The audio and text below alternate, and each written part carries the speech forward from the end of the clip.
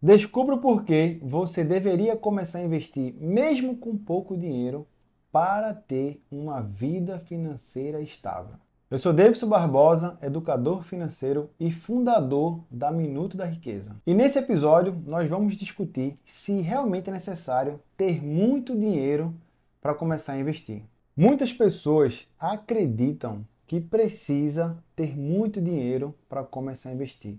Acreditam que é só quem tem dinheiro ou que tem muito dinheiro que vai ter as opções de investimentos. Mas isso não é mais verdade. Mesmo com poucos recursos, é possível você ter rentabilidades significativas no mercado financeiro.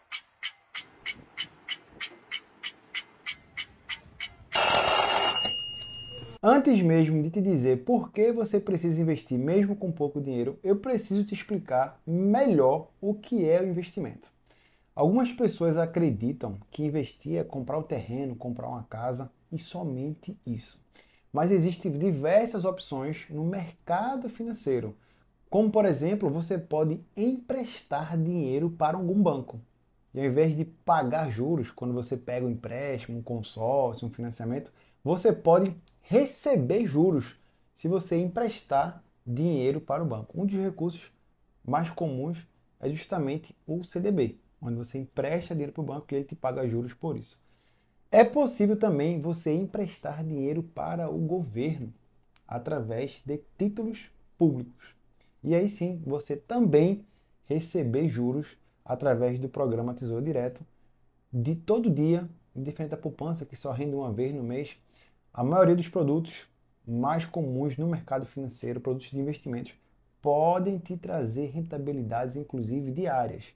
Vale lembrar que esses produtos podem ter liquidez.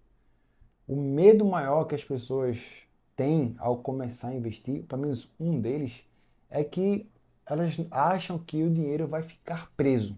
E justamente essa é palavra que eu escuto. Ah, dinheiro vai ficar preso. E não é verdade. A diferença tradicional, fazendo a comparação aqui com a poupança, é que a poupança, mesmo nos finais de semana, sábado, domingo, você pode sim resgatar o dinheiro. Até porque ele não está rendendo, ele precisa de 30 dias fechado, sem mexer para render.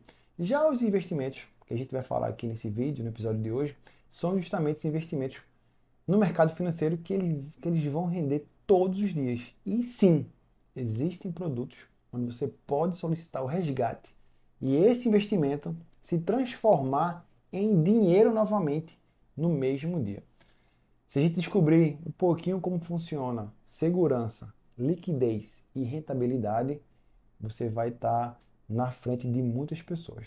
Então, segurança, a gente já falou aqui, você vai emprestar dinheiro para o banco, vai emprestar dinheiro para o governo, é um, é um pilar principal do investimento, segurança. O outro pilar é liquidez, que é justamente isso que eu falei para você. É a velocidade que o investimento se transforma em dinheiro. Enquanto poupança você pode resgatar no final de semana, os investimentos são justamente apenas nos dias úteis. Então você tem que saber fazer essa conta, se planejar para que no final de semana você não precise desinvestir. Porque só depois de você desinvestir que o dinheiro vai estar disponível para você pagar alguma conta, algo desse tipo. Essa é a única diferença entre a poupança e os outros investimentos que a gente vai falar aqui. Então, segurança, liquidez e rentabilidade. E esse ponto é primordial. A números de hoje, a poupança está rendendo 0,5% ao mês no acumulado de um ano, isso vai dar seis e pouquinho. Quando a gente vai para o produto de investimento, onde você pode emprestar dinheiro para o governo, por exemplo, essa rentabilidade praticamente dobra. A taxa Selic, que é ideal para o investidor iniciante, está nas alturas, está 13,75%. Então, investimentos comuns, primários, uma simples mudança de poupador, aquele que investe só na poupança, para investimento, para investimento como um CDB, um Tesouro Selic, você vai estar com rentabilidade o dobro da poupança. Muitas pessoas acreditam que você precisa ter uma conta empresarial, uma conta com vários benefícios, um cartão de crédito, precisa que esteja recebendo salários altos para poder iniciar os investimentos. Já perguntei uma vez numa, numa palestra e uma pessoa falou que precisa inicialmente de 10 mil reais para dar start nos investimentos. Mas a única coisa que você precisa é ter um CPF. Se você, inclusive, é menor de idade ou se você quer fazer um investimento para o seu filho, basta ter um CPF. Na modernidade que nós estamos hoje, com um banco digital ou uma corretora que você vai baixar um aplicativo no telefone, vai fazer o seu cadastro com informações básicas de nome, CPF, é, endereço, vai mandar aquela foto padrão onde você vai estar olhando ali, vai cadastrar a sua conta e rapidamente, algumas corretoras, alguns bancos digitais, você consegue a disponibilidade no mesmo dia da conta. Então, no mesmo dia, se seus dados estiver tudo correto, você vai estar com a sua conta habilitada e apta para fazer o primeiro investimento. Quando a gente fala sobre títulos públicos, vai ser necessário pelo menos 30 e poucos reais. Mas existem hoje, como por exemplo no Banco Sofisa, um CDB que você pode investir a partir de um real. E o CDB, para quem ainda não está habituado, é você justamente emprestar dinheiro para o banco. É o banco, o banco comprando seu dinheiro, né? um empréstimo que você faz para o banco e ele vai te pagar por isso, vai te, vai te render juros por isso. Então, a partir de um real, você já pode fazer investimentos no mercado financeiro. Esse produto é um produto de renda fixa. Como é um produto bancário, ele ainda vai ter a garantia do fundo garantidor de crédito. Por ser banco e por, e por oferecer esse produto CDB, ele garante a você a mesma garantia que tem a poupança, a mesma garantia que tem o dinheiro parado hoje na sua conta corrente.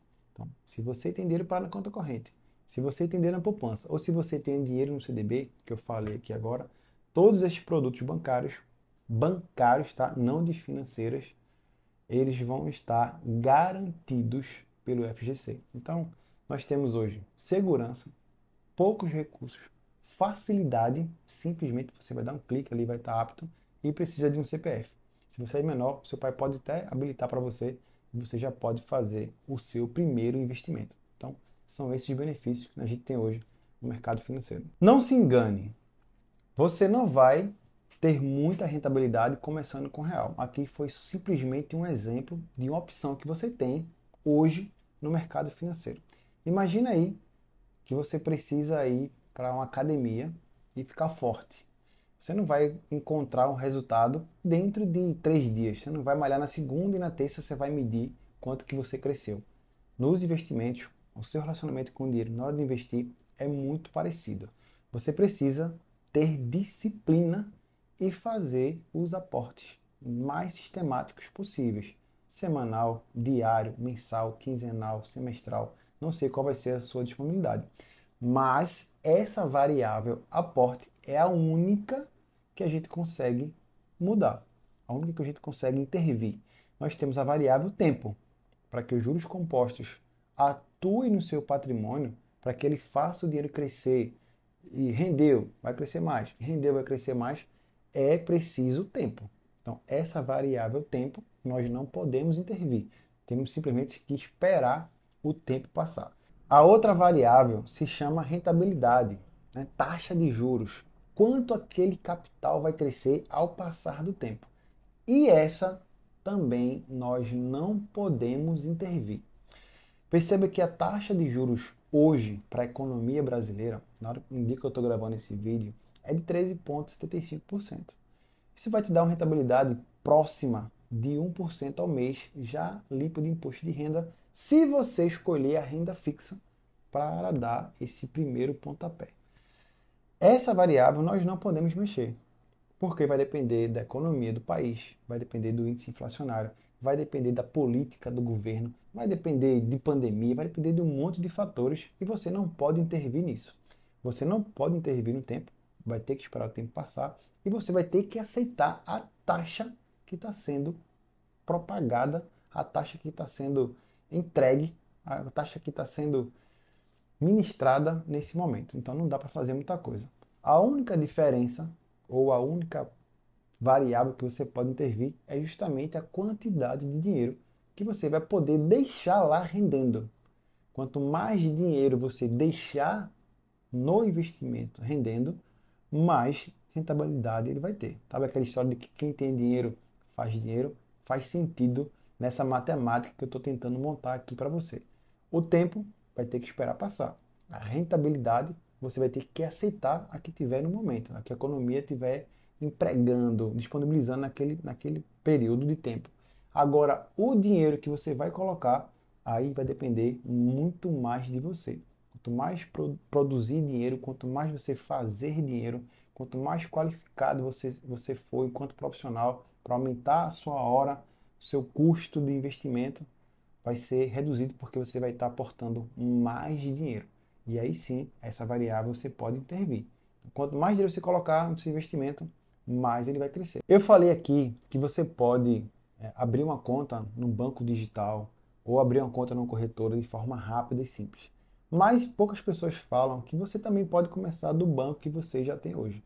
Basta você ter um bom relacionamento, um banco que você já ache fácil fazer as transações, que você já usa o aplicativo.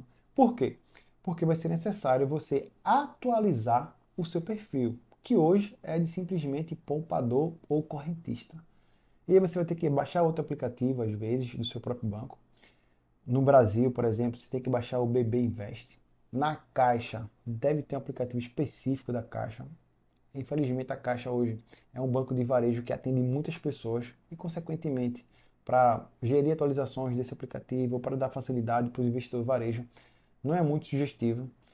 Você pode fazer no Bradesco, mas hoje o Bradesco tem uma, uma veia, né, uma vertente chamada Agora, que é a própria corretora do Bradesco.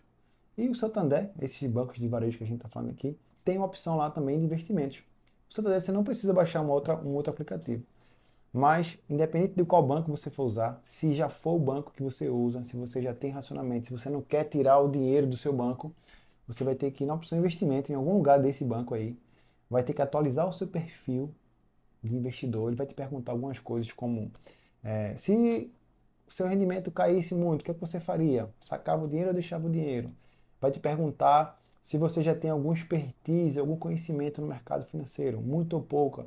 Vai te perguntar se você já fez algum investimento antes, em poupança, CDB, em ações. E tudo isso aí é para montar um perfil e ele vai começar a te direcionar para os investimentos mais próximos da sua realidade, do seu perfil financeiro. Mas essa facilidade vai ter um custo.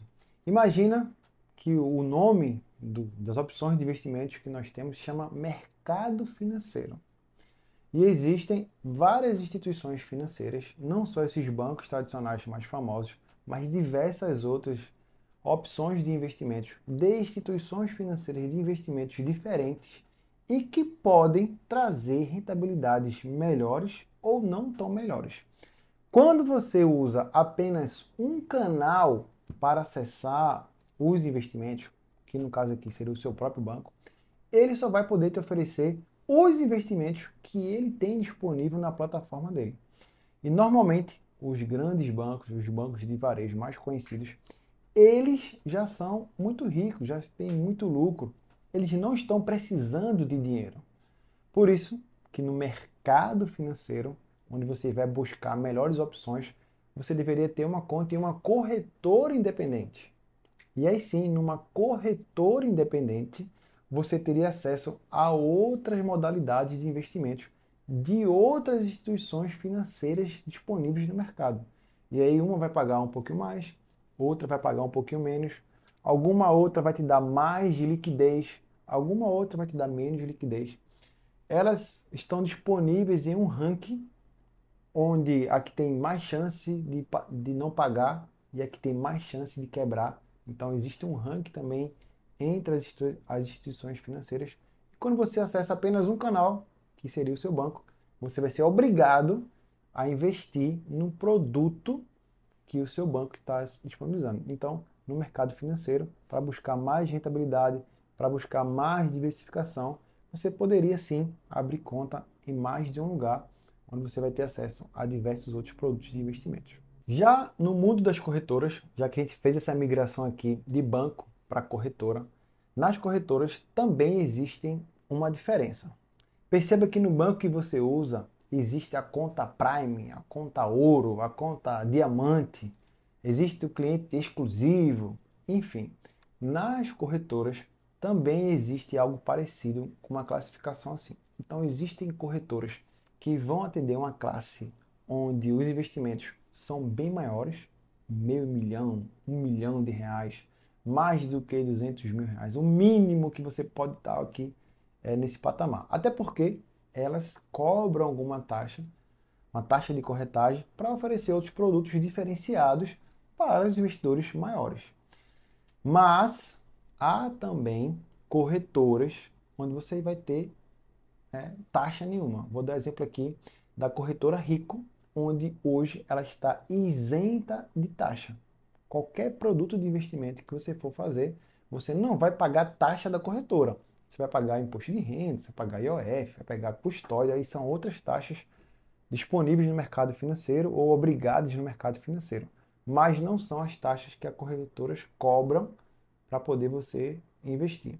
Já corretoras como BTG, corretoras como a XP, que inclusive é do grupo, a, a corretora rica é do grupo XP, as corretoras BTG, XP, elas acabam tendo uma taxa, tá? uma taxa de cobrança, de corretagem, em alguma transação ou outra, alguns produtos ou os produtos mais atrativos para trazer o cliente, ele acaba não cobrando taxas, mas para você fazer operações de renda variável, para você deixar uma carteira automática para gerar rentabilidade, para você ser assessorado por alguém, tudo isso aí é pago através das taxas de corretagem, através dos rebates dos fundos Tá? Os fundos geralmente cobram uma taxa, essa taxa tem um rebate para os assessores. Então, faz sentido, se você está iniciando essa migração, procurar corretoras sem custos, como por exemplo a Rico.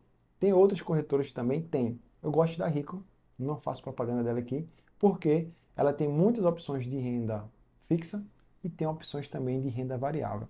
Algumas corretoras têm muitas opções de renda fixa e não tem taxa, outras, outras corretoras são mais voltadas para quem está buscando muita renda variável e também não tem taxa. E a Rico está ali no meio termo. Tem produtos de renda fixa e tem produtos de renda variável que vai poder te atender aí sem taxa nenhuma. Já que eu falei aqui sobre imposto de renda, sobre taxa de corretagem, vou falar aqui a regra geral, tá? Para renda fixa, você é cobrado de imposto daquilo que rendeu. Eu sei que você está pensando na poupança, que não tem taxa de nada, e é por isso é, ela rende menos, mas também eu não vou ser cobrado. Nos investimentos vai sim ser cobrado alguma taxa. Tem produtos de investimentos livre de imposto de renda? Também tem, mas vamos falar aqui primeiro sobre as taxas. Regra geral, você vai ser taxado daquilo que rendeu. Você vai ser taxado daquilo que rendeu. Imposto de renda, por exemplo, você até seis meses com dinheiro investido, do que rendeu, se você for resgatar, se você for resgatar, você vai pagar 22,5% do que rendeu. Se você passar de seis meses até um ano, você vai cair essa, essa taxa para 20%. Dentro do prazo de um ano, ou seja, passou de um ano até o segundo ano, você vai ser taxado em 17,5% se você resgatar. Se você não resgatar, o dinheiro vai estar, tá, continuar rendendo lá e vai ser cobrado menos imposto. Passou do segundo ano, a gente tem a alíquota mínima, que é de 15%. Isso aqui é imposto de renda. E na renda fixa é bom por quê?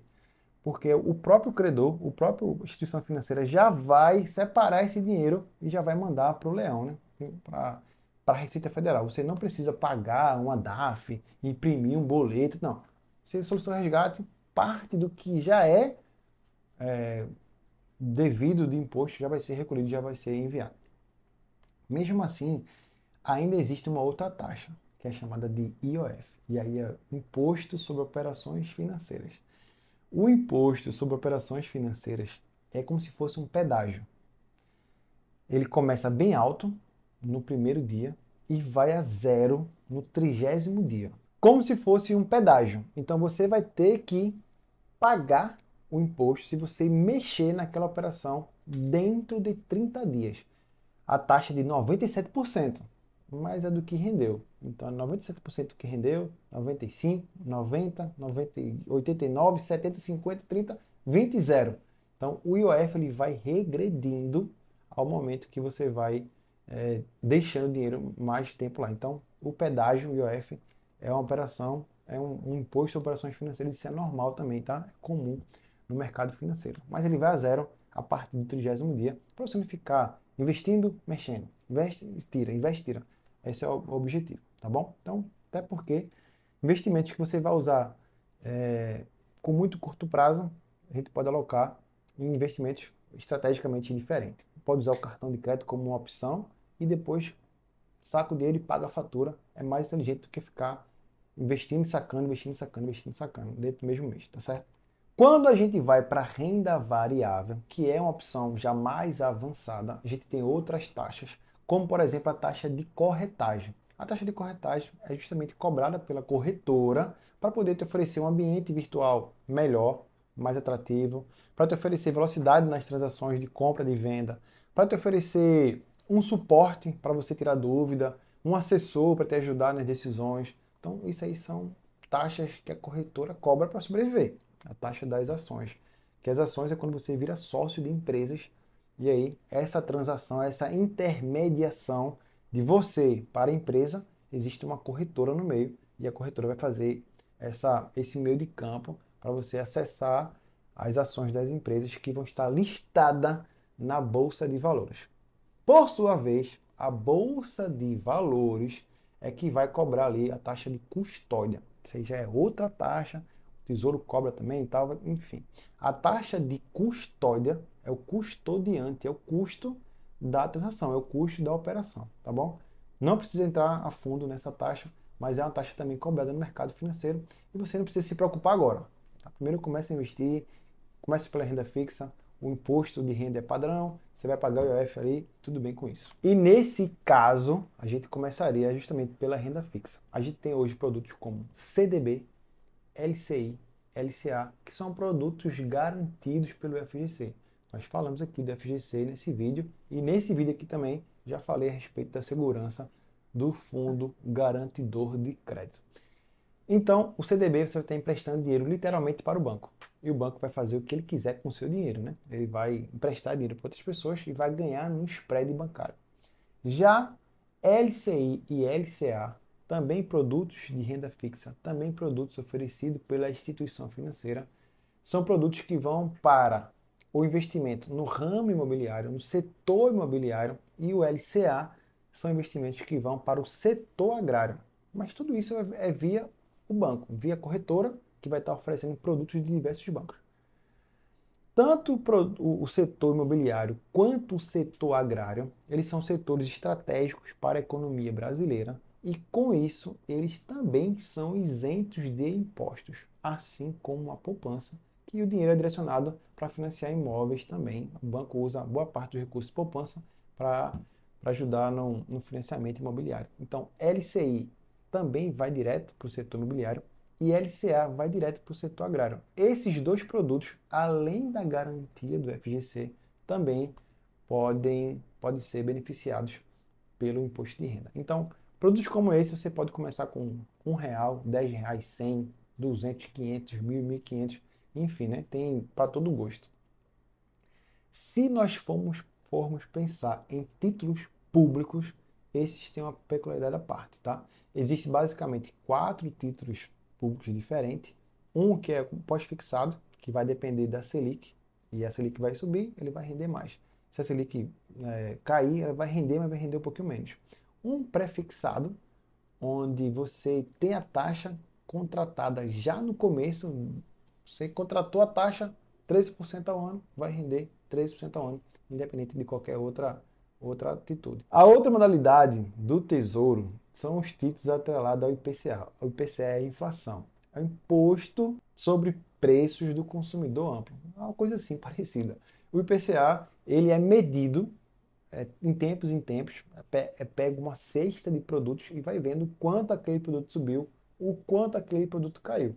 Investimentos atrelados ao IPCA vão render o IPCA, esse índice que é medido, mais alguma taxinha. Então, tem o pós-fixado, depende da Selic.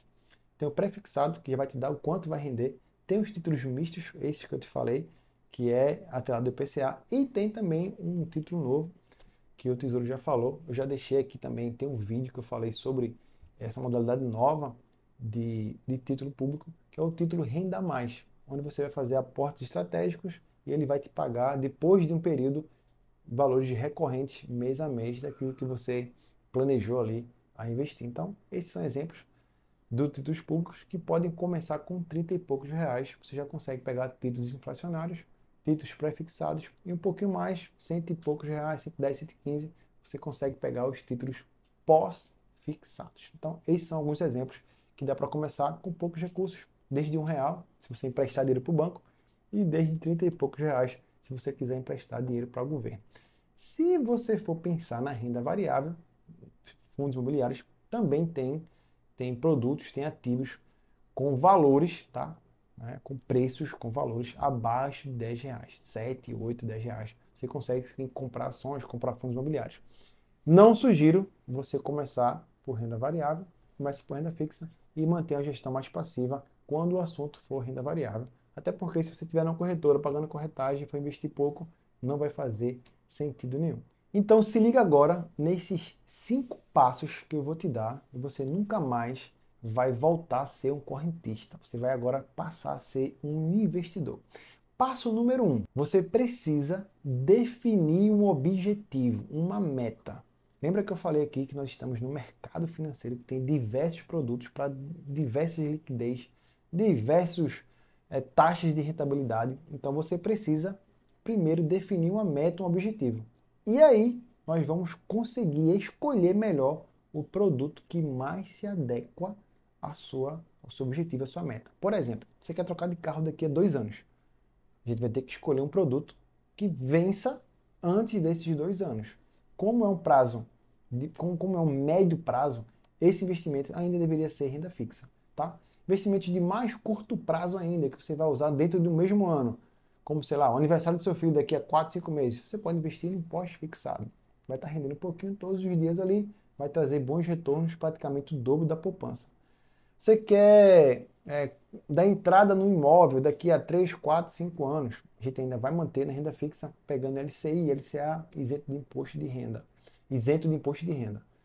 Se você for algo pensando em objetivos mais do que 5, do que 10 anos, sei lá, aniversário da sua filha de 15 anos, uma previdência para o seu filho, uma previdência para você, para complementar a renda. Esses produtos são de longo prazo. Então, pode ser uma previdência, pode ser uma carteira é, estudada estrategicamente, baseada no seu perfil de risco, e vai montar ali esses investimentos. Para longo prazo, a gente começa a se expor um pouquinho mais à volatilidade e também você acaba se expondo ao risco ali, mas vai ter boas rentabilidades. Passo 2. Escolhendo bem esse, esse objetivo, essa meta, você precisa escolher a corretora.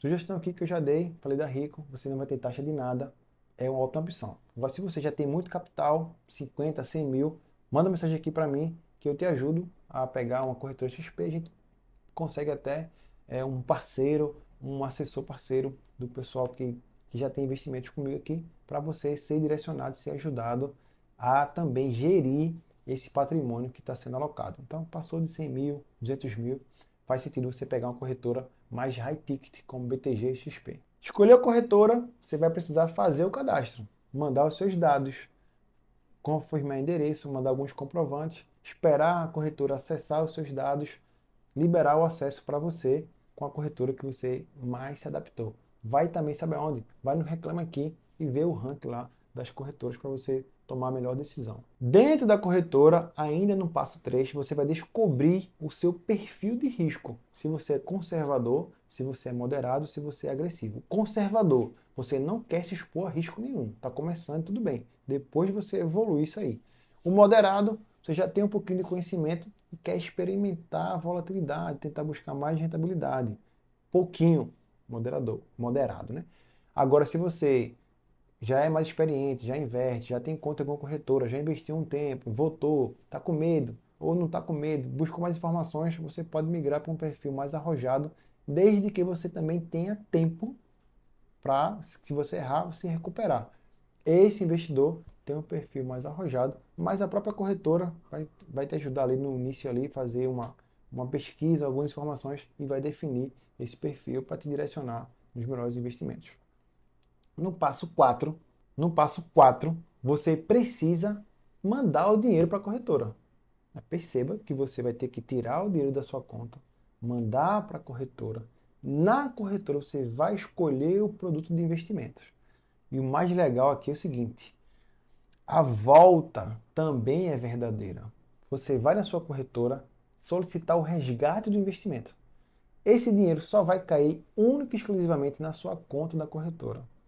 E, e da corretora, ela só, o dinheiro só pode ir para a sua conta corrente. Tem que sair da mesma pessoa física da corretora para a mesma pessoa física na conta do banco. A ida também do dinheiro é a mesma coisa. Não consigo mandar do Davidson para outra pessoa. O Davidson do banco tem que mandar o dinheiro para a corretora Davidson e Davidson vai escolher o produto de investimento, que é justamente o quinto passo, é você escolher o produto. Então você vai escolher o produto de investimento, já está com a conta em dia, com a conta aberta, você agora vai escolher o produto de investimentos para finalizar aí e ver o seu patrimônio crescendo todos os dias, usando os juros compostos ao seu favor, porque agora é só esperar o tempo, porque a taxa a gente não pode mexer.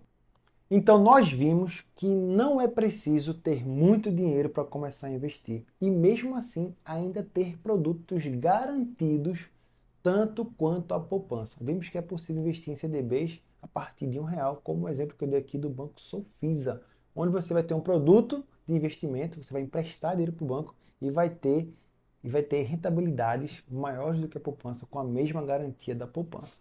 Entendemos um pouquinho aqui sobre liquidez, que é quando você precisa de tempo para voltar o dinheiro para você, o dinheiro vai para o investimento, você precisa de um tempo para resgatar esse dinheiro. Isso se chama liquidez, que diferente da poupança, que você consegue resgatar sábado domingo, na, nos investimentos de no produtos de investimentos, você precisa de pelo menos usar isso em dias úteis, tá? Se tratando aqui de renda fixa. Entendemos um pouquinho aqui sobre as taxas de imposto de renda, as taxas de OF, que são tudo cobrado daquilo que rendeu. Se o seu dinheiro não rendeu, provavelmente você não vai ser cobrado de taxa nenhuma. Vimos também o conflito de interesse que existe nas instituições financeiras. Se você usar apenas o seu banco, você só vai poder investir em produtos do seu banco. Agora, se você acessar investimentos através de uma corretora, você vai ter diversos produtos de investimentos, alguns com mais tempo, com menos tempo, com mais rentabilidade, com menos rentabilidade, você vai ter mais acesso a produtos de investimento se você usar a corretora. Nas corretoras, nós vimos que temos corretoras para pessoas que têm muito dinheiro, para pessoas que estão começando, principalmente as corretoras de taxa zero, que eu falei aqui o exemplo da Rico. Vimos também que temos três variáveis e somente uma delas que você tem o poder de mudar. O tempo, você não pode fazer nada, tem que esperar os juros compostos trabalhar o seu dinheiro. A taxa, você vai ter que aceitar a que o mercado estiver oferecendo. Você não pode fazer também nada. A única que você pode mudar é o seu capital, a quantidade de dinheiro que você coloca nos seus investimentos, de forma disciplinada, como a gente já tinha visto aqui, né? Então, você montar uma estratégia e fazer aportes sistemáticos é tão importante quanto entender como funciona, entender taxas, essas coisas todas, tá certo? E no fim, vimos os cinco passos importantes, que é Definir metas e objetivos. Sem isso, a gente não vai ficar perdido nos investimentos. Tem um monte de produto. Depois, escolher a melhor corretora que se alinha a você, descobrindo seu perfil de risco. Fazer o cadastro, habilitar sua conta, mandar seu endereço, tirar aquela foto padrão. Tudo isso hoje é feito de forma remota, digital, de casa. Não é mais preciso ir no banco para abrir aquela conta e tudo, tudo rápido. Depois, vimos que você vai transferir o seu dinheiro do seu banco para a sua conta corrente, um único CPF, você não consegue fazer para pessoas diferentes. E quando você finalizar o último passo, que é escolher o produto, a volta também o dinheiro só vai cair na sua conta da corretora e da sua conta da corretora só pode ir para sua conta de banco e não é mais possível fazer outra, outra movimentação cruzada com CPF diferente. Então, existe a segurança de investir e existe também a segurança do desinvestir. Porque só assim, começando com pouco dinheiro, sabendo que o tempo é primordial, mesmo e agora você entendeu que não é preciso ter muito dinheiro para acessar bons investimentos com segurança e tudo mais. Mesmo com pouco dinheiro, você vai ter acesso a bons produtos e vai ter boas rentabilidades e vai ver o seu patrimônio crescer com segurança e com responsabilidade. Eu sou Davidson Barbosa, sou educador financeiro. Compartilhe esse vídeo com mais uma pessoa que queira aprender mais sobre os investimentos, que quer aprender os investimentos de forma segura, de forma rentável, de forma responsável. Deixe seu legal, se inscreve aqui no canal e eu te vejo no próximo vídeo.